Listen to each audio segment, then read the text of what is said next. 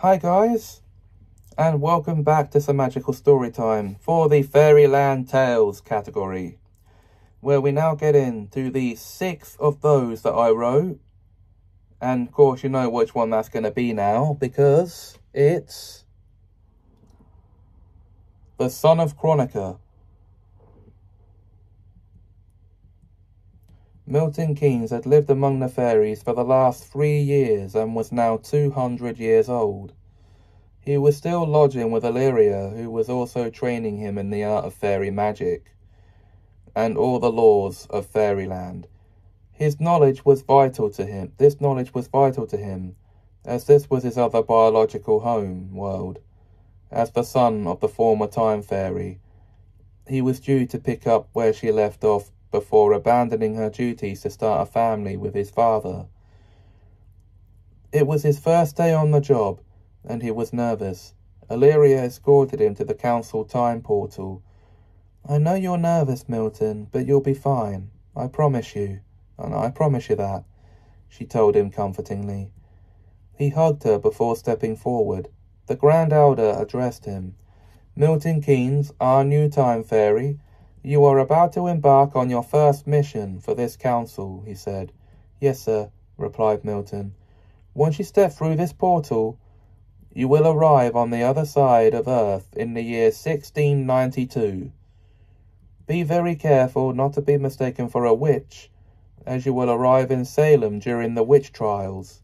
To blend in, we advise transforming before you go, the Grand Elder told him. Milton used his magic to transform into a colonial American pilgrim father, and off he went.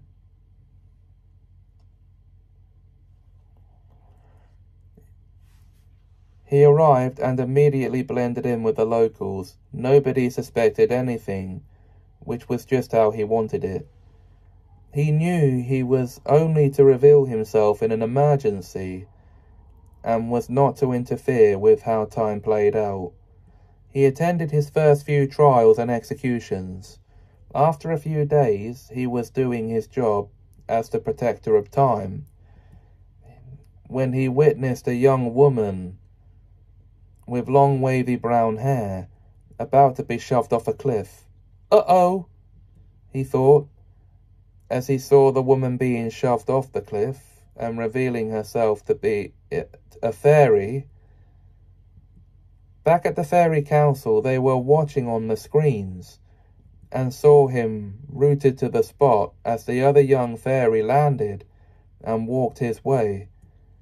We hadn't counted on this, said the Grand Elder.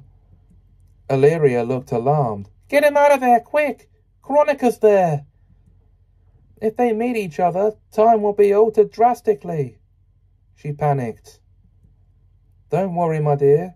He doesn't know it's her, he told her. Back in Salem, Massachusetts, 1692, Chronica walked past Milton and stopped. That was close, she said. She got herself together and walked through a portal that just opened up without so much as a glance at him. That was a close one, he thought, and carried on with his work. A week later, it was Milton's turn to be suspected of witchcraft after accidentally using magic to repair a wound for a child. He was found guilty of witchcraft and sentenced to the final test. Just as he'd seen his mother do without even knowing it, and shoved off a cliff, only to poof into his true form and save his life.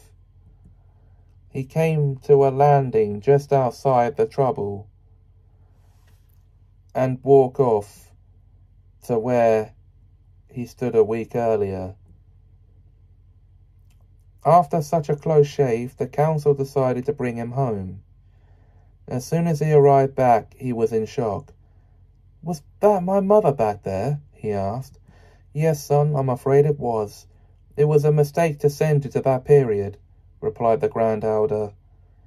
The next morning, Milton was ready to return to London, 2054. They thanked him for his help and apologized for nearly causing him to breach the law against messing with time. As soon as he arrived home, he received a visit from a special spirit. It was the form of a young woman with long wavy brown hair. She was smiling at him. Milton, my dear son, she said lovingly. Mother? said Milton inquisitively. Yes, sweetheart, it's me. Your mother, Chronica the Time Fairy, replied Chronica. I'm sorry, mother, said Milton. Sorry? Don't talk such nonsense, my dear son. You did well on your first mission, and I'm very proud of you, said Chronica. We almost met each other in person, though, said Milton. I know we did, but luckily none of us realized the other was there. Even if we had met, you would have just been an elderly man in that time, she reminded him. That is true.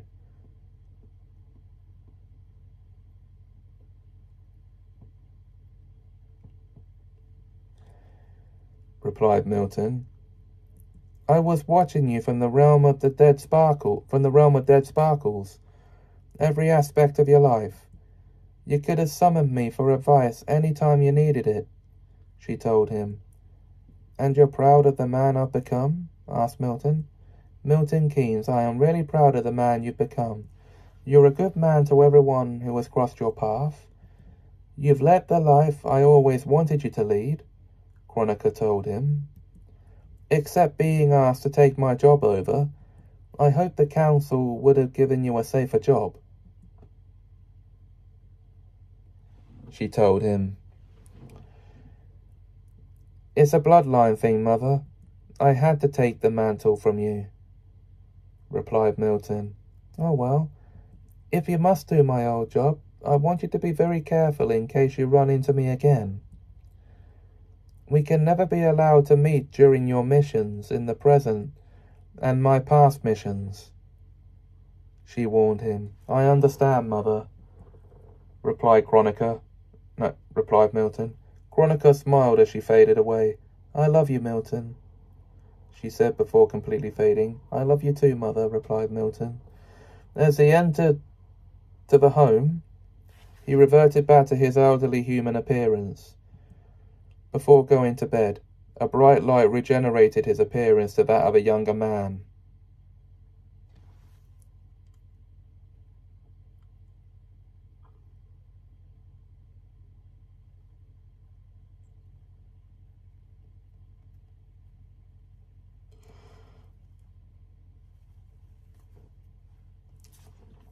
and that was the son of Chronica.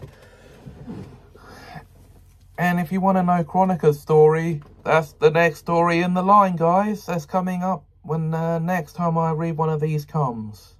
So until then, if you enjoyed this video, please like, comment, share, and subscribe. Thanks for watching, and have a magical time.